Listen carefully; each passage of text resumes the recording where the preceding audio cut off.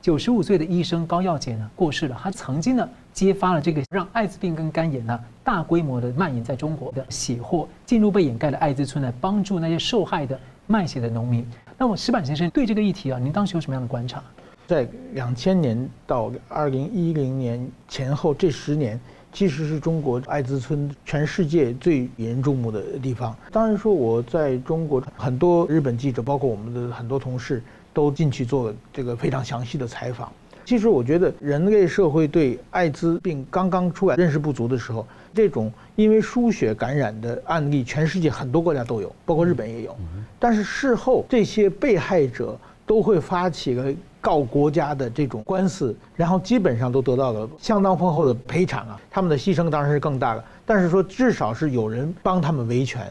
但是在中国的艾滋村，就是河南的艾滋村，完全是跟别的国家走的不同的路数。第一，艾滋村爆发的时候，是全世界对艾滋病的认识已经相当成熟的，别的国家的艾滋病已经得到控制了，这种悲剧不再发生的时候。中国刚刚开始，另外一个是，它是通过大量的卖血，非常粗糙的不换针头啊这种方式，致使很多整村整村的人，全家全家的人。他那个针头其实很便宜，而且官方主导，那针头真的很便宜。对，有需要这样子。不，但是做对他们来说，这个针头就是能省一分是一分的想法。而且另外一个主要是愚昧嘛，对这方面没有知识嘛。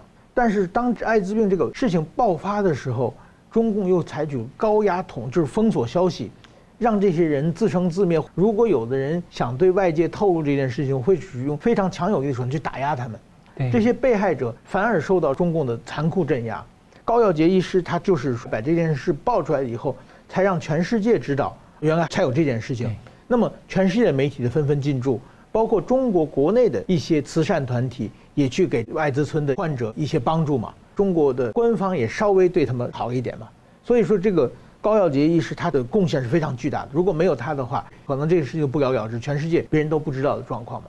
前不久，中国的李克强天总理过世的时候，好像国际上的媒体把他形容成一个非常开明的改革派，但是李克强在他河南主政的期间，也是非常疯狂打压艾滋病患者，对这个事情他其实有相当大的责任的。